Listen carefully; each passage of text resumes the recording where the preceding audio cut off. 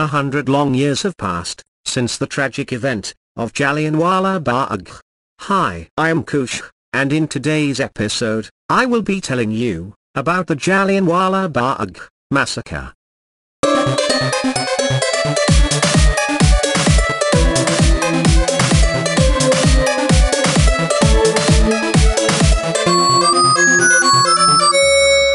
It all started with the introduction of the Rowlatt Act, of 1919, by the Imperial Legislative Council, in Delhi, on March 18.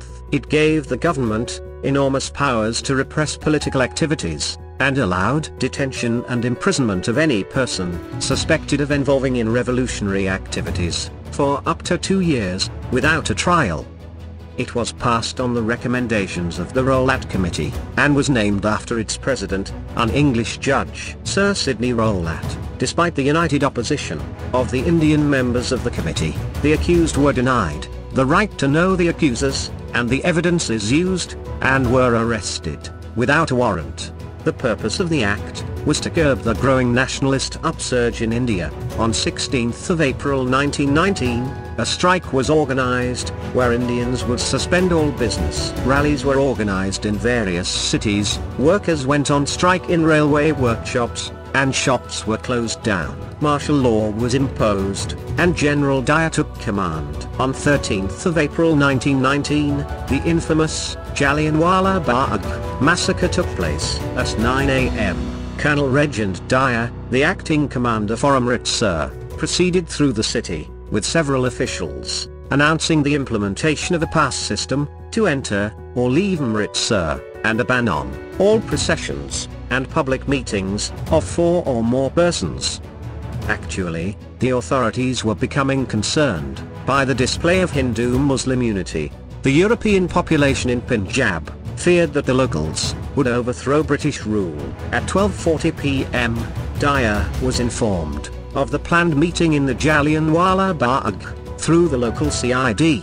So, he returned to his base at around 1.30 pm, to decide how to handle it. By the mid-afternoon, thousands of Sikhs, Muslims, and Hindus had gathered, in the Jallianwala Bagh. Many, who were present, had earlier worshipped at the Golden Temple, and were passing through the Bagh. On their way home, some came to protest, against the government's new repressive measures, and others had come, to attend the annual Baisakhi fair. The city police, closed the fair at 2 p.m. that afternoon, resulting in a large number of people, drifting into the Bagh. It was estimated, that about 20,000 to 25,000 people, had gathered in the Bagh.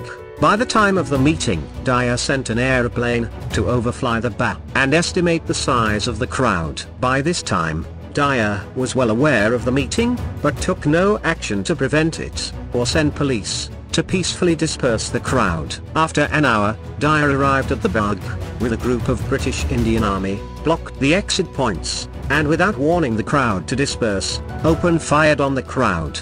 Many people died in the stampedes, at the gates, or by jumping into the well, on the compound, to escape the shooting. The wounded could not be moved from where they had fallen, as a curfew was declared, and many more died during the night.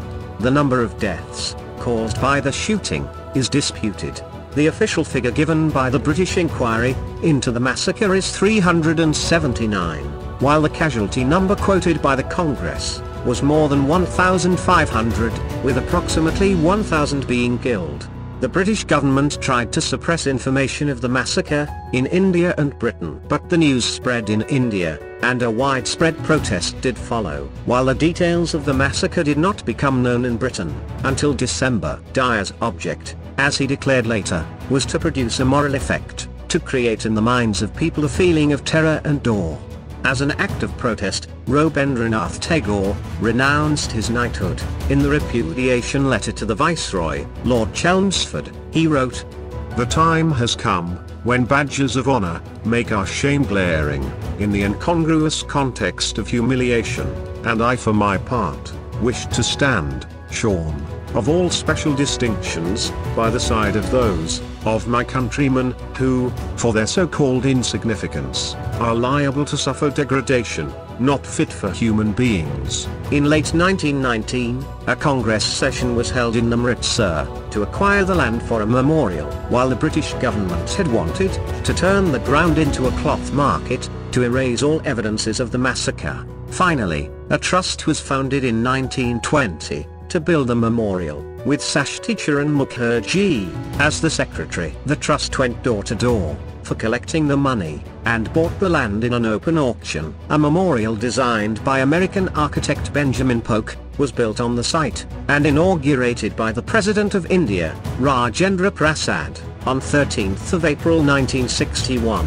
Although, Queen Elizabeth II, had not made any comments, on the incident during her state visits, in 1961 and 1983. She spoke about the events, at a state banquet, in India on 13th of October 1997.